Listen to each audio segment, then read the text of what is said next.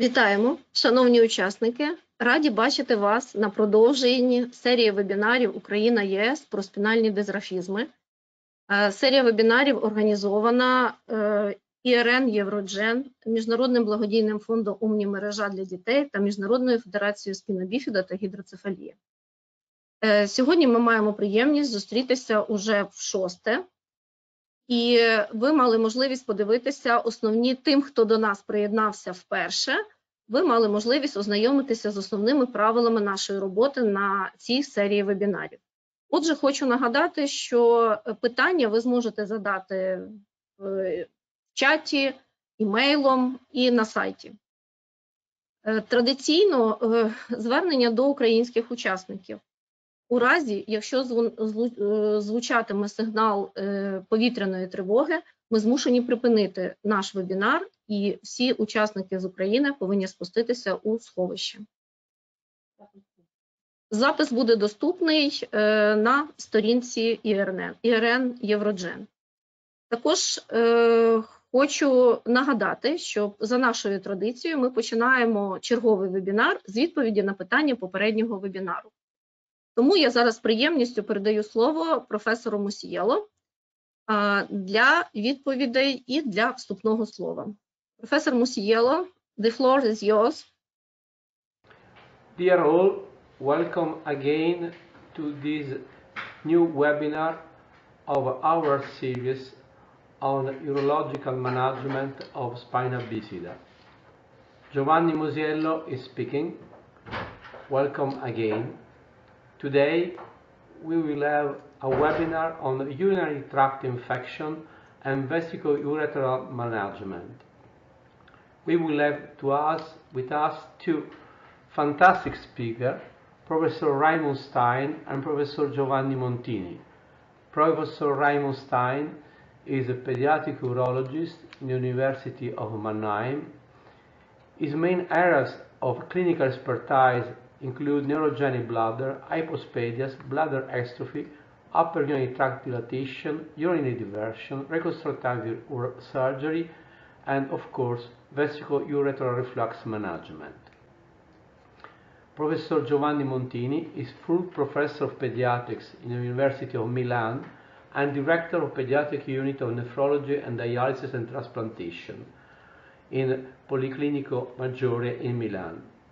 His main areas of clinical expertise include urinary tract infection, pediatric renal transplantation, chronic and acute renal failure, Charcot nephrotic syndrome, and renal involvement in mitochondrial disease. Both of them are well known for their clinical expertise and for their editorial activities. And I believe that their presentation will be very, very useful and interesting. For your question, please remember that if you wish to ask a question regarding the presentation, you can do so by typing into the question box during the presentation. Some of the questions will be addressed in the webinar. You can also submit questions after the webinar as usual, and this will be answered at the beginning of the next session. They will also publish on the ERN eUROGEN website. Regarding question, now we will go to see the question that we have received for the previous webinar on urodynamics on the presentation of Professor Rien Nijman. We received several questions and we will go to evaluate. The first question was related to what to do for urodynamic studies in patients with autism.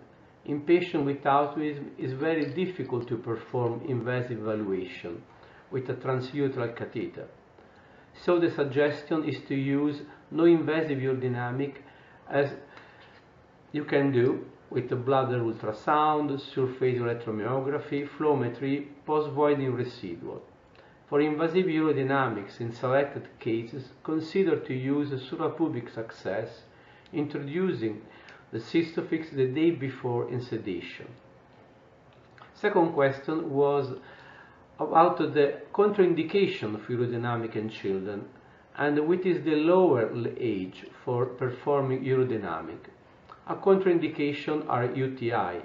Never perform urodynamics with acute UTI. Regarding age, you could perform in the first days of life too. It depends about the goal and must consider the risk of act artifacts. In newborns with spina bifida aperta, the first urodynamics should be performed after the phase of spinal shock. That normally is for, means after the second or third months of life. Especially newborns, performing interpretation urodynamics could be difficult, as bladder function may have some immature signs as the tubes of sphincter discoordination, high voiding pressure, and very low bladder capacity. Other question was about the bladder filling phase in the urodynamic examination. When to stop the filling if we observe the appearance of unilateral reflux and when vesicoureteral reflux increases at the beginning just after the, the vesicular appears. Other question was about the role of evaluation of the pressure, the vesical pressure or detrusor pressure.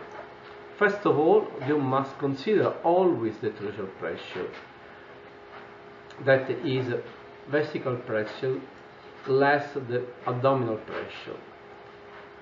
Second, regarding when to stop the filling, sometimes there is a transient minimal reflux during filling for increasing detrusor pressure, especially if we have overactivity of the detrusor. So it's useful to record when view appears, but it's better to stop filling when will increase and is continuous. How do you evaluate sphincter competence? Measuring leak point pressure. Other question, is it mandatory to measure urethral pressure profile in children and why? No, it's not so significant as in adults and there is a high risk of artifacts. For this reason, urethral pressure measurement is indicated in very, very selected cases in adolescents only in which impairment in addition to neurogenic bladder is urodynamic examination indicated. In many situations, in bladder exstrophy epispadias complex, in epispadias, in posterior urethral valves, in severe reflux, better of course video dynamic, before any major surgery for continence. Other question, is related to the preparation of children for urodynamics and timing for premedication. Before any urodynamic, a urine analysis should be undertaken. The first assessment should be done under antibiotic prophylaxis. A Cochrane analysis showed that administration of prophylactic antibiotics compared to placebo reduced the risk of significant bacteriuria. However, this was without significant difference for symptomatic UTI, fever or discomfort.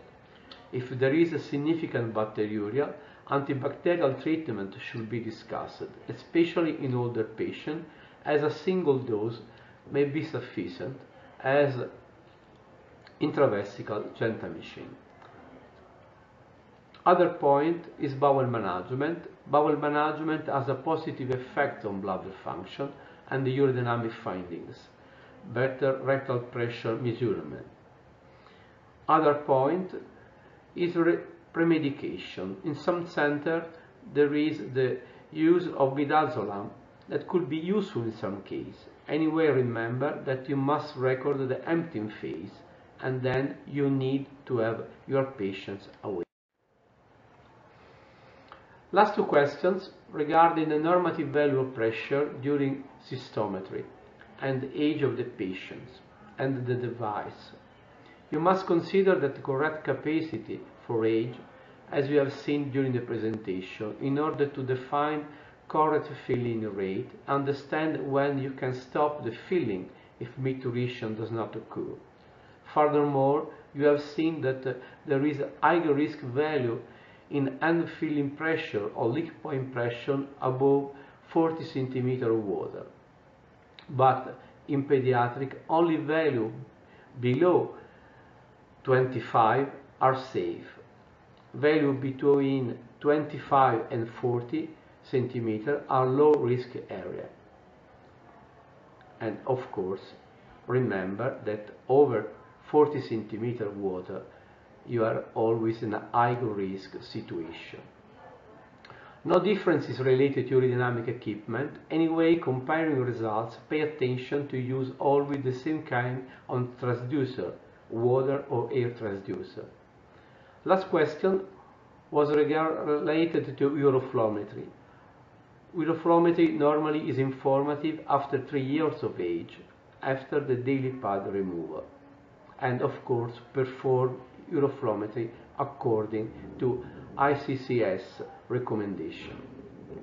Thank you very much for your attention and I hope really that you, you could enjoy the, this presentation of today. Thanks.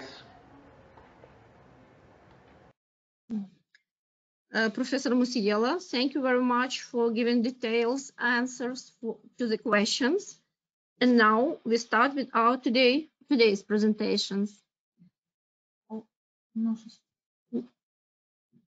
Uh, and now we gladly give floor to our esteemed speakers, Professor Giovanni Montini and Professor Raimund Stein. Welcome. Good afternoon to everybody, and thank you very much to the organizing committee for this very kind invitation to be part of this webinar series on spinal dysraphisms. Today I will speak uh, mainly of urinary tract infections in children with a neurogenic bladder, as I'm a pediatric nephrologist. As uh, you well know, in uh, normal situations, the urinary tract is germ-free. And the main defense from bacteria invasion is the adequate urine flow from up to down and the intact uroepithelium. And this explains also why uh, the most common bacteria which produces uh, UTIs in children is uh, E. coli, because E. coli has got the fimbriae which uh, facilitate uh, the attachment to the uroepithelium and uh, allows for to the bacteria to go up to, to, to the kidneys. And I call these bacteria the, the, spider bacteria of the urinary tract. When bacteria enter, a number of conditions may develop. We can have a febrile UTI, uh, which produces an activation of the inflammatory process, and it is commonly called pyelonephritis. We can have bacteriuria, and we can have cystitis. And uh, here you can see the bacteria, in this case, an E. coli with the fimbriae, which arrives to the kidney.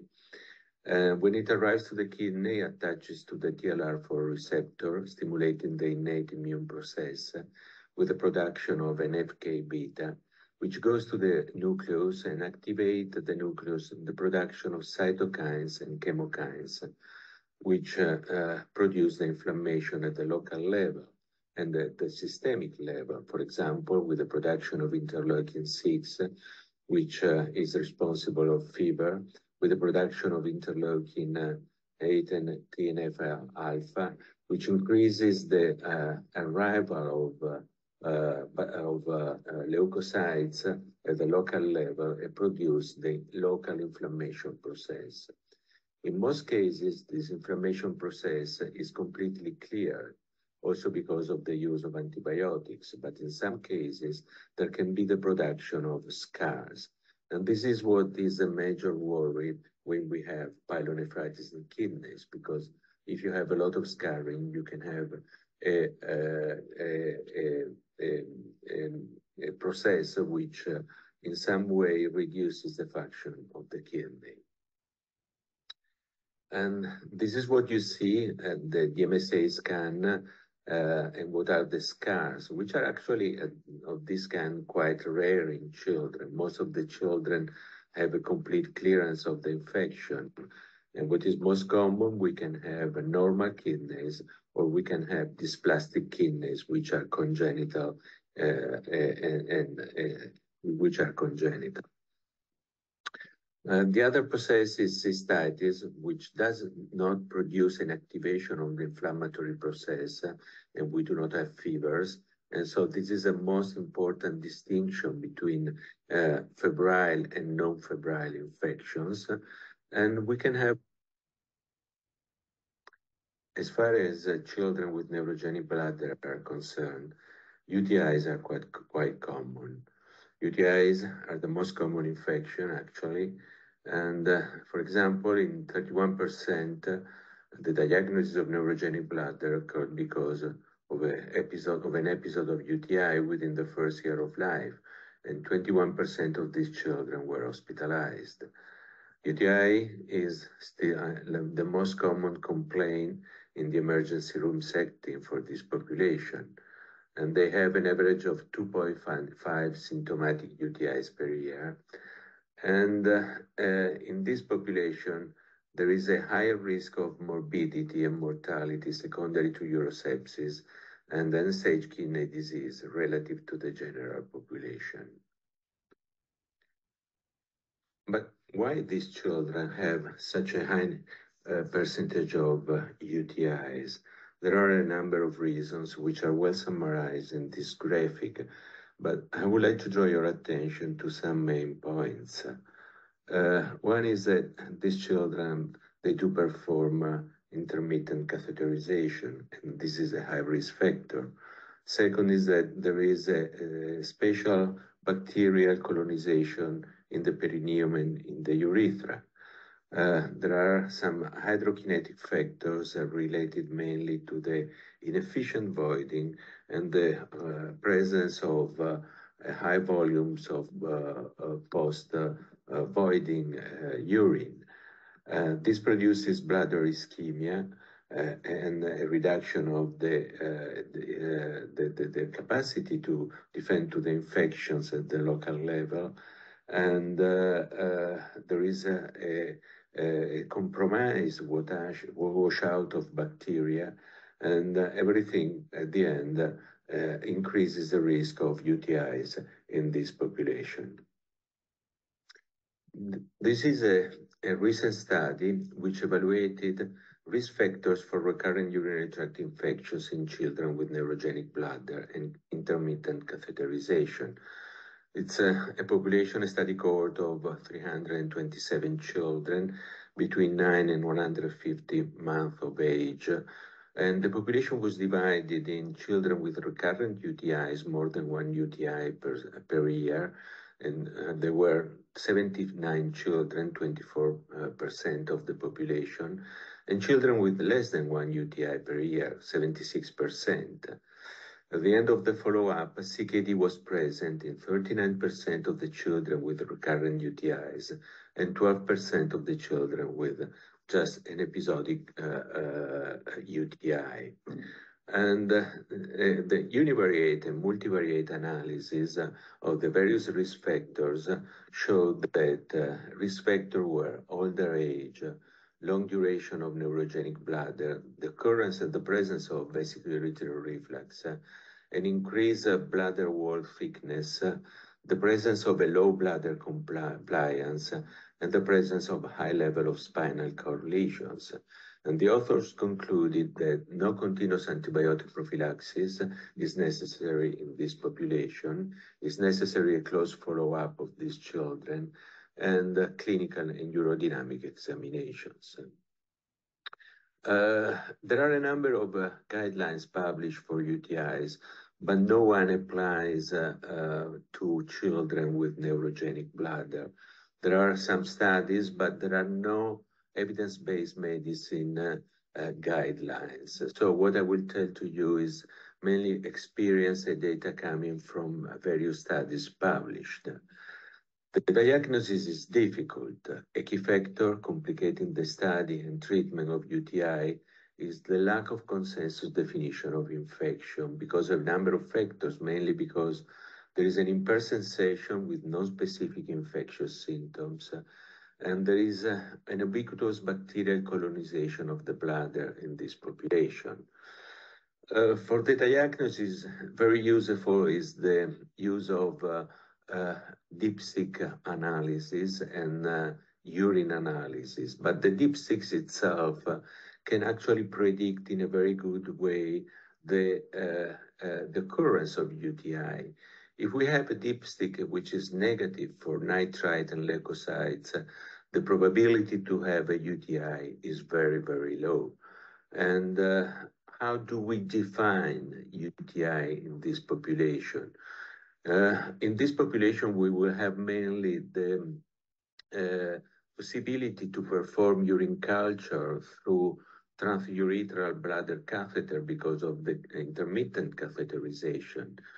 And uh, there are various definitions of the threshold of bacteria that you need to have to define a UTI in this population. And our Italian guidelines define the, presence of an infection as more than 10 to the fourth uh, colony forming unit per milliliters. and uh, in patients uh, with uh, neurogenic bladder, the National Institute on Disability and Rehabilitation Research defined UTI uh, as the presence of more than 10 to the second colony forming unit from intermittent catheterization. I believe that this is a quite low threshold, and I would prefer to keep on the uh, threshold of 10 to the fourth. Uh, other points are, as we told, that the, typical symptoms, uh, dysuria, urgency, frequency, are rarely present, and common symptoms are autonomic dysreflexia, increased spasticity, new worsening urine continence, a bag abdominal pain, and smelling urine, which per se has a low sensitivity. And uh, uh, um, a flow chart for the diagnosis of UTI. Uh, this is a very useful flow chart. What is necessary to perform is a urine analysis of dipstick. If it is negative, no further testing is necessary. If urine culture is negative, no infection there will be. And uh, if the urine culture is positive with the symptoms, uh, we can uh, proceed to the diagnosis. But if there are no symptoms, we define it as asymptomatic bacteriuria, as no treatment is necessary. How do we treat this population? We treat this population with antibiotic, uh, but we have to keep in mind that pathogens and sensitivities differ from the general population. In, in, in uh, the uh, uh, neurogenic bladder children, E. coli is much more uncommon than in the children with a normal urinary tract. So when we decide an antibiotic, we have to choose a large spectrum antibiotic. In most instances, we can use uh, oral antibiotics. And what about the duration?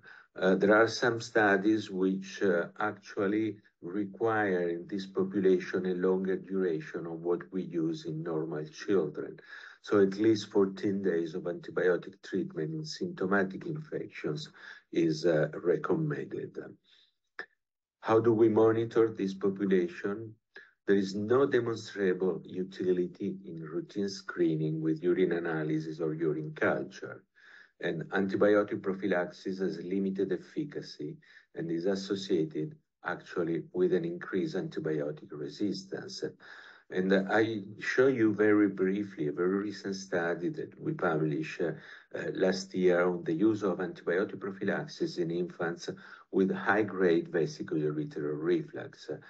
This is a, a very specific, special population uh, showed very uh, tiny infants. Uh, they were randomized at a median age of two months with no previous infections. And what we showed is that there was a, small, significant, but small difference between the untreated group and the prophylaxis group, leaving a very large population for two years with no infections, even if they were not treated.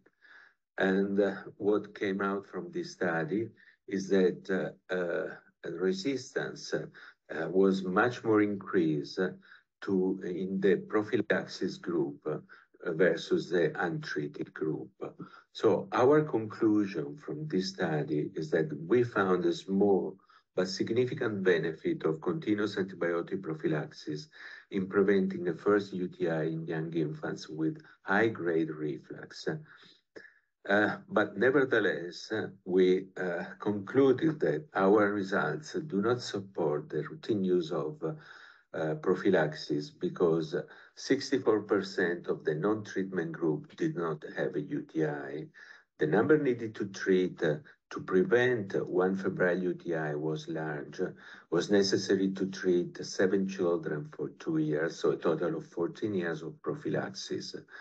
No differences as far as the scars occurrence and uh, uh, variations of G EGFR in this population. UTI were easily treated in both groups and because of the emergence of uh, resistant strains. So what more about monitoring and prevention? The routine use of cranberry is not recommended. There is a Cochrane uh, evaluation mainly done, uh, done on adults uh, but uh, this Cochrane uh, does not recommend the use of, of, of, cranberry, and there are very few studies in the pediatric population. What about the use of probiotics, uh, vaccines, uh, bladder inoculation of uh, virulent strains, bladder irrigation? Well, even in this case, there are no evidence-based studies but it could be recommended in some children, especially those who have a high number of recurrences of pyelonephritis. And thank you very much for your attention. Good evening. Spina bifida and reflux. I have no conflict of interest. If you think about spina bifida and reflux, we have to distinguish between primary and secondary reflux, but it's very difficult to discriminate between them. Most of the refluxes are secondary nature. Our goal is reflux are prevention of infections, preservation of renal function, and sure, avoiding new renal scars. For diagnostics, we have the video dynamics shown by Rien last time. If you don't have video dynamics, you can do a VCUG and urodynamics and get almost the same results. To look for split renal function or scars, DMSA scan is still the gold standard today. The MRI may follow in the future. With a DMSA scan, we see in adults up to almost half of the patient have renal scars. And the uh, renal scars correlates very well with hypertension later on. So should we do a baseline evaluation in the first year of life the Sweden groups are very in favor of doing DMSA scans or renographies quite early in patients with spina bifida and repeat it quite a lot of times. Almost 20 years ago, the group from Tom de Jong showed that early start of therapy means CIC and anticholinergics preserve kidney function in this population. And almost 10 years ago, in Germany, we agreed on an interdisciplinary guideline where we start very early with the diagnostic tools, means video dynamics, urodynamics, and start also very early proactive management. But we still a little bit reluctant to do renal scans, and only if we have a dilatation of the upper tract or we have the suspicion of scars, we do a renal scan. The Americans start also now with proactive management, and you can see here that the reflux plays an important role how to treat the patients during the follow-up. The EAU and ESPU guideline committee, we agreed also to do start very early with management, doing CIC and maybe anticholinergics, doing a VCUG, doing video dynamics, and if there's reflux, we treat them with antibiotic prophylaxis. And also we agreed to do a renal scan within the first six months of life as a baseline. The Irish group showed that following the EAU ESPU guideline and doing a very early DMSA scan, you see only normal, most cases, normal kidneys. And those who have some scars are only those who have a high grade reflux or where status post post nephritis and having reflux of kidneys too. So the question still remains if we do only DMSA scanning in selected patients, or should we do it in all of them? What to do with a symptomatic primary reflux? Is it really primary? We don't know most of the times. We can use bulking agents, as a lot of people doing this today, or we can use a ureteral reimplantation. Using bulking agents, in the long term, you have a success rate of less than 25%, but you have the risk of obstruction due to the bulking agents. On the other hand, if you do a reimplantation using the Cohen Politano Lichtenegger Obsvasich technique, you have a success rate of more than 80%. But most of the refluxes we see are those due to the pathology of the bladder, means the overactive bladder, and the overactive sphincter. And just recently, the Toronto group demonstrated in a meta-analysis that if you really start with proactive treatment, reflux is less common than we do expectant management. So using augmentation, you increase the bladder capacity, you decrease the bladder pressure, and this started already more than uh, 125 years ago with ileal segments, and you can use gastric, cecum, colon, or the ureter too. Still, in 2024, tissue engineering or using artificial material like SAS is experimental. This is a little bit disappointing. When I started my career, I always thought that tissue engineering will come up with some solutions. When you do bladder augmentation, you have to open the bladder wide. You can use ileal or colonic segments, but you have to deal with a revision rate of at least 36%. If you are lucky, or the patient is unlucky, and you have a severe dilated ureter with a non-functioning kidney, you can use ureteral cystoplasty. And this is the only patient where it really works in my hands. And you have a augment reaugmentation rate, as Doug Husmann showed, is up to 80%. So it depends really on patient selection. Doing a partial detrusorectomy or trisomyotomy, a meta-analysis recently presented at the ESPU meeting showed that you can reduce or make a better compliance, have a better compliance in 54, uh, 50%, and you get a capacity, a higher capacity in 65%. So, and also, especially those who have a bigger bladder capacity and more than 50% of the age-related bladder capacity may benefit of this. So when it comes to augmentation, on the other hand, the group uh, and Toronto again showed that if you have a low grade reflux, you have a quite high resolution rate. But if you have a high grade reflux, your resolution rate still goes down. So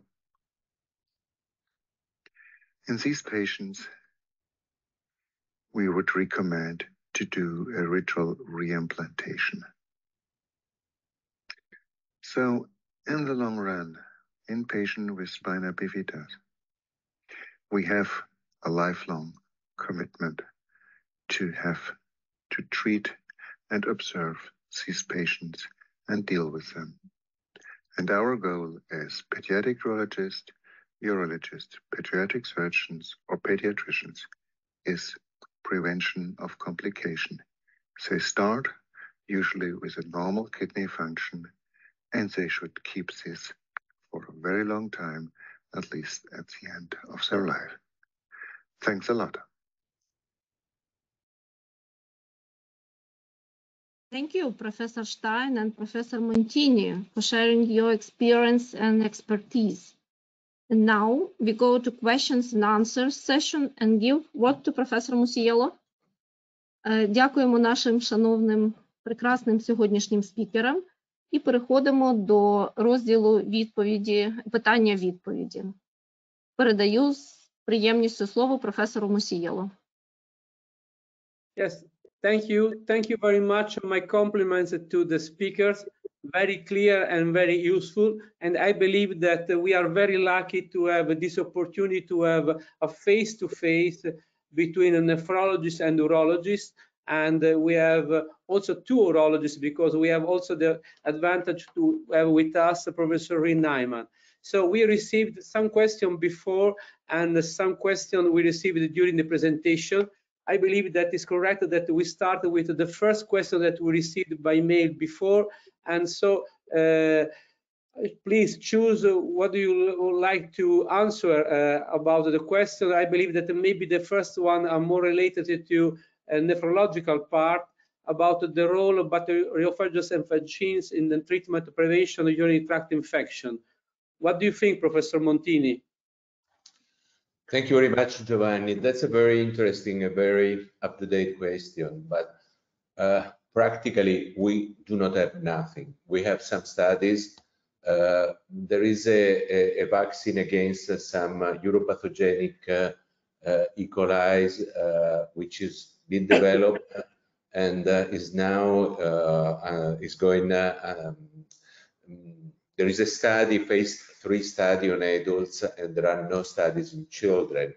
But E. coli is not the most common bacteria in these children. We have seen that 20% of infections are from E. coli, the rest are from other uh, bacteria. So uh, I hope that in the future we can, could have some of these uh, tools to uh, to use for uh, these children. And this is related in part also to question three, fighting against antibiotic resistant bacteria. I mean, that's a very difficult topic. Uh, we still, we now have some uh, uh, multi-drug resistant bacteria. And of course, we have to choose the right antibiotic uh, based on uh, uh, the data that come from the laboratory, from the, I mean, to see what these bacteria are sensible to. Uh, and uh, these are very difficult situations that are actually increasing, especially for these children who are often hospitalized and they can have uh, multi-drug resistant bacteria causing infections to them. Thanks. And uh, for the second question about the blood instillation for and against, yes, how exactly, maybe I believe that is related to the use in some center about to use intravesical antibiotics as a gentamicin. What do I believe that could be useful to receive the opinion of all? Please, Giovanni, what is your opinion? My opinion is that you can actually use it in some situations. We have done it. Uh, it's not uh, uh, the, the, the, the routine way to use antibiotic for these children, but there are some situations, some difficult situations, where bladder instillation is uh, uh, a, a, good tool to uh, use against uh, UTIs in these children. Okay, Professor Stein, please, your opinion. Yeah, I think too, like Professor Montini, I think uh, gentamicin, I think only it's gentamicin which you can use. It's also a question of the dosage, but you may use it and it's an option if you have very resistant things or you have a severe complication due to bowel uh, complication, then the gentamicin works more or less in the bladder. It's not very much, uh, they call it uh, reabsorbed from the bladder, so it works. But it's a very, very, very few selected patients where you may use this. Thank you very much, Professor Nijman. Do you agree with the, yeah? Yeah, I agree with both of them. And I think it is extremely important to realize that the resistance against most antibiotics is induced by us as medical doctors. So I agree that we have to be extremely careful when you decide to give antibiotics to children in this condition, and only when you have no other possibilities, bladder instillation, for instance, with gentamicin, could be a good option. Okay, and uh, for the fourth question, uh, there is an agreement between all about leukocyturia with fever to treat or not. Giovanni, please.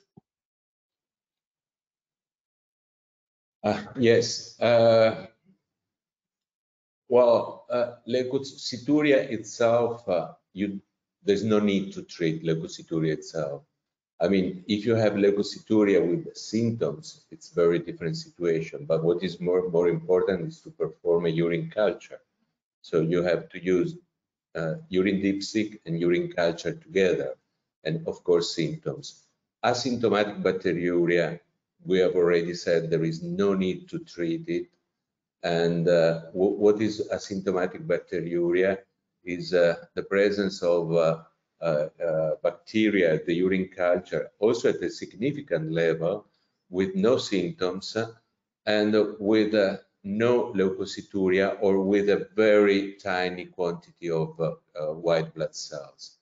Of course, if you have a huge quantity of white blood cells, it's a it's a different situation and uh, you have to evaluate case by case when to treat or not to treat but generally it's not necessary to treat. That's my opinion. I don't know.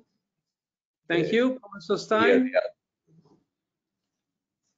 I wouldn't treat it. Uh, maybe do a urine culture, but even if the patients or the parents do it at home and they have some leukocytes in the dipsticks, I would recommend to do nothing at all because it's just could be from the catheterization. It could be that there is some asymptomatic bacteriuria, but uh, also to, to, teach the parents to do every time a urine culture. I don't know how many urine cultures you will get from these patients because I think when you do the dipsticks every day, you will have it in at least 20%, 40% every day uh, leukocyturia there on the market side. So I usually tell the parents, don't do it, do it only when there are symptoms, then do it, and then do a culture. But if there are no symptoms, do nothing. Professor Nijman, do you agree, Rien? Absolutely. I'm in complete agreement. Yeah. Yeah. Uh, I, I, have a question about this. Do you? Can I, can I just? I, I agree. I mean, I pointed out very clearly that there is no reason to perform routine urine analysis and urine culture. No reason. I mean, only when you have symptoms. That's very important. Yeah. No, one uh, one question by me about this and do you believe that uh, we are really able to explain to general practitioner and to pediatrician how to manage uh, this situation because is i believe that is uh, quite common for every one of us to have a patient that uh, represent to us the question uh, my pediatrician or my general practitioner suggests to treat and do you believe that maybe we have to work mainly with uh, our colleagues to explain uh, the difference between leukocyturia to explain the, uh, the, the what what is a real UTI in a patient with a clean intermittent catheterization, or otherwise do you believe that uh, we have done all. Giovanni, what do you think with about the nephrologist world? And we have to work more or not? Well, we always have to work more, always. yeah. and that, that, that's quite important. But uh, I, I, I, don't know the, what happens in Ukraine actually, but in Italy we're trying to, to, to, to, make it very clear to most of pediatricians and GPs uh, our thoughts and what we think about this situation. So I don't know if I've got right your, your question actually, but Okay. Some content, some comments by Raimund or Rien? No. No. No. Okay. Nope. Okay. We have other questions, and uh, uh, you can read and uh, about the percentage of patients experience regression or reduction in degree of vesicular reflux with a conservative treatment with, uh, I believe, uh, is anticholinergic intermittent catheterization. What is your experience? And what is uh, your recommendation for that question?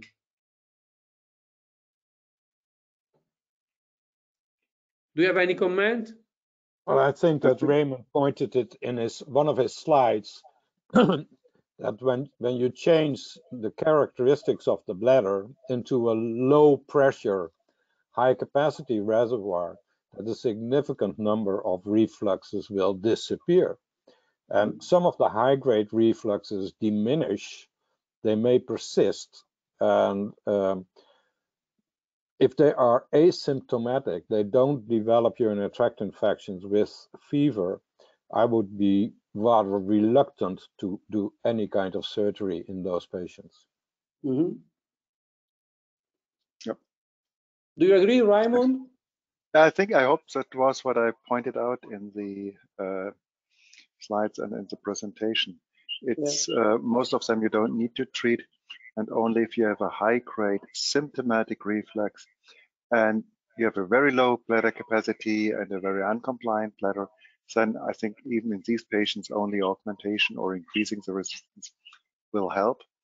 But if we have, uh, for example, a moderate bladder capacity, a high grade reflux, and a moderate pressure, and you do augment then maybe it's uh, useful to reimplant if you have really a high grade reflux because the symptomatic may not disappear when you do it.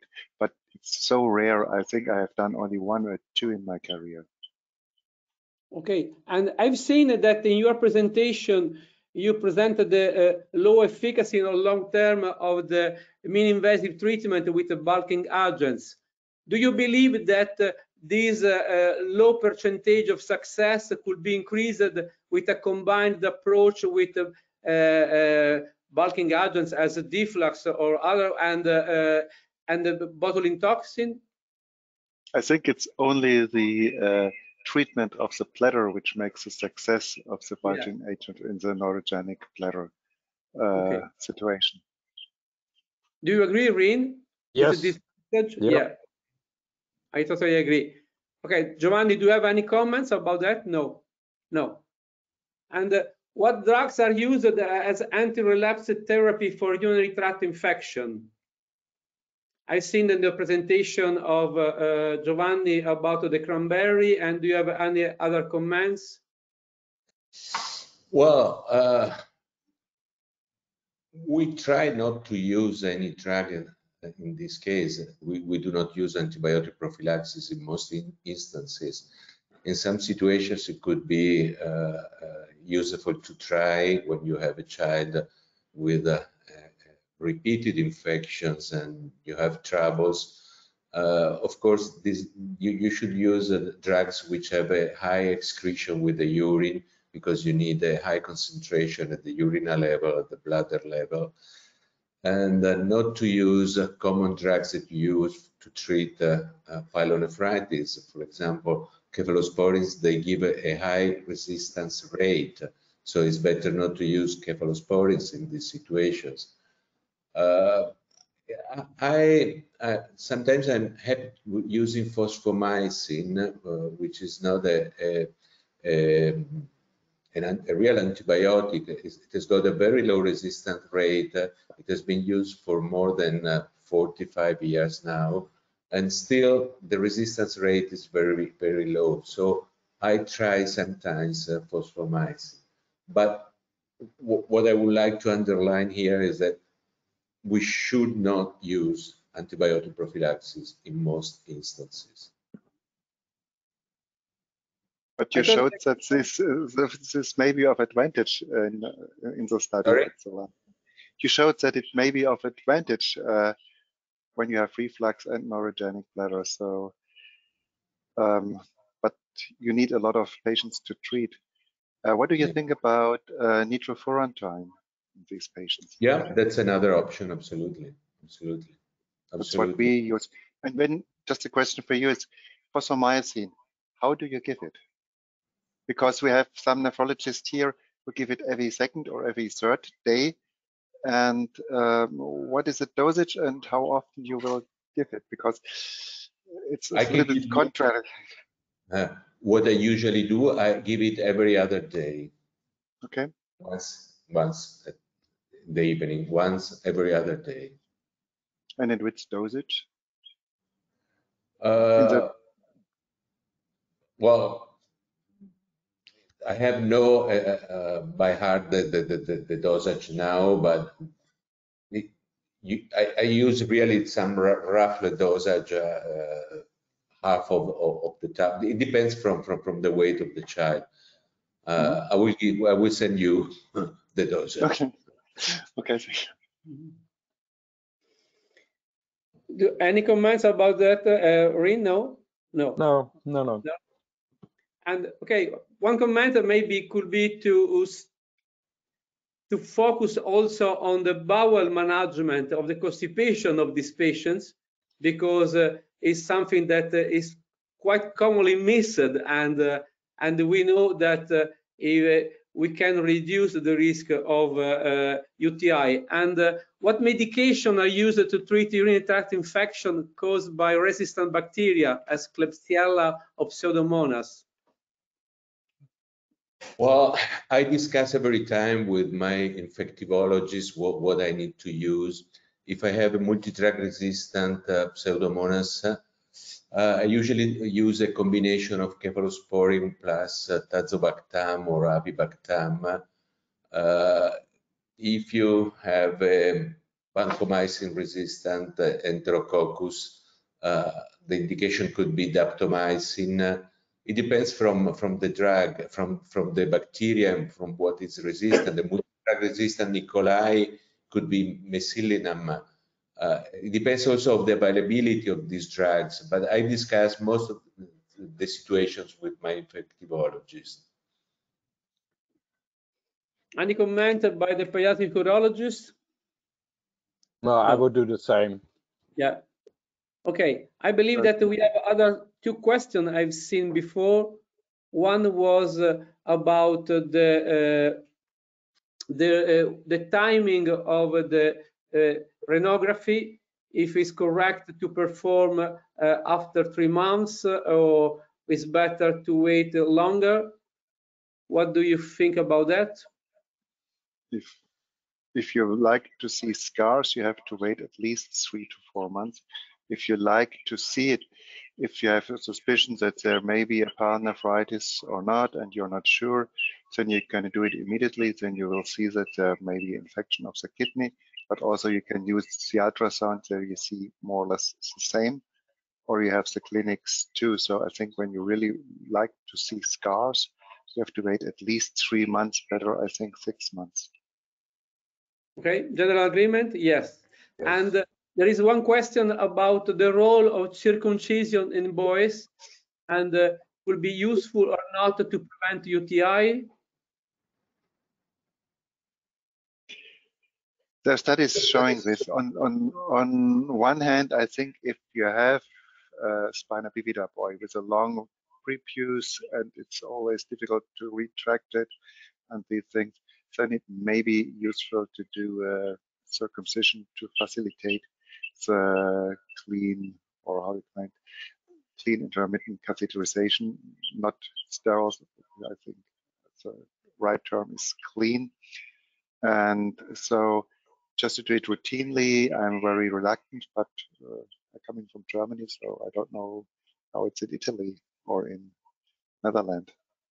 Well, I'm a little bit less reluctant to do circumcision, and especially in very young boys with spina bifida who are on CIC and have recurrent urinary tract infections, um, then I won't hesitate to offer a circumcision. And there is some evidence that in some categories of patients, it is beneficial. Thanks. But I would not, I would not do it routinely. Okay, as last two questions, and uh, one is related to the COVID-19. If uh, there is uh, some experience by you or some evidence about how COVID affected urinary tract infection in children? Uh, we, we actually published a, a, a paper on that, uh, of course not on sp- spina bifida, but what we've seen is that there was a, a major reduction of uh, UTIs during the COVID period uh, versus the pre-COVID periods, uh, period. Uh, I don't know if this was mainly because people didn't show up to, to the clinics because they stayed home finally and they didn't come for every uh, that, that's quite difficult to say, but actually we notice a reduction. Uh, but I don't believe that COVID per se it's able to reduce UTIs. I mean, mainly it's related to, to, to, to the fact that people didn't show up. I have seen in my experience of some cases of uh, severe blood dysfunction uh, as uh, neurogenic blood uh, after severe COVID infection. Do you have experience with these cases or not? Have you seen? No? No. no. Okay, last question is about uh, the uh, surgical uh, treatment, uh, reimplantation, Coraline produce a very good resolution or reflux, but adult urologists find it as, as subsequent urological procedures. So uh, if uh, uh, what is the your choice between the endourological treatment, the Cohen or Lich Gregoir? I think the argument that you have with the Cohen procedure against endological endourological procedures, I think it's it's not longer valid because you have uh, flexible endoscopes and Yeah. you can do it very easily. So this is not an argument against uh, the Cohen procedure. I think more an argument against the Cohen procedure maybe if you have a very trabeculated bladder and all these things, that it may be difficult to create a good uh, submucosal tunnel, but this may be more an argument against it. But otherwise, I think this is not an argument against the current procedure. Yeah. And what do you, uh, last uh, uh, comment, what do you think about the role of mini-invasive procedure as uh, laparoscopy or robotic for reimplantation, extravesical reimplantation in this kind of bladder, in erogenic bladder? Could be useful or not? I have no experience with that. So I think when you come to the decision to do this uh, additionally to the augmentation of the bladder, a reimplantation of the bladder, I think to do it with a robot or to do it with laparoscopically, it's very demanding. So I think it's much easier to do it open in these cases because usually you have a very wall thick bladder and it things, and then it makes it extremely difficult. Okay. Thank you very much for your participation and uh, uh, very, I believe that was very, very interesting. This is my opinion and I hope all, all audience enjoyed it. And thank you very much uh, again. And the next webinar will be with Professor Rafal Sharzan by Krakow University, Jagiellonian University, and the uh, and the, of course, uh, thanks Darren to remember to us, uh, everyone who attends the live webinar will receive a certificate of attendance. One hour after the scheduled finish time, you will also receive a survey to complete. Please complete it and all suggestions are welcome. And also we send you this format in uh, uh, Excel format of the following days. And uh, uh, if you completed the survey, you will receive a CMI credits. And uh, thanks again. And uh, uh, Dr. Zimak, please. I want to say to thank uh, our outstanding speakers, Professor Stein, Professor Montini, Professor Mosiello, and Professor Rien Nijman, um, and uh, of course uh, Darren Shehan for organizational and technical support, and all our participants. Uh, we have ve- we have we had very interesting discussion. Е, Я від імені нашої аудиторії дякую нашим шановним е, сьогоднішнім спікерам та панелістам і е, за цікаву дискусію, яку е, ми зможемо переглянути також на сайті у запису. Е, Також можна додати свої питання е, при бажанні і у письмовому вигляді. Нагадуємо про це і запрошуємо на наступний вебінар, який відбудеться 7 березня. І разом із професором Рафалом Шаном обговорюватимемо питання лікування першої лінії, чиста періодична катетеризація і застосування антихолінергічних засобів. Дякую всім за цікаву зустріч. До наступних зустрічей. Thank you. Bye. Thank you very much again. Thanks, Darren, for your support, and thanks to the all organizer and Omninet, International Federation of Spina Bifida, Eurogen, and ERKNet. And thanks again to all the speaker, Professor Montini, Professor Stein, and thanks to support Professor Nijman. See you the next webinar, the 7th of March. Thank you again.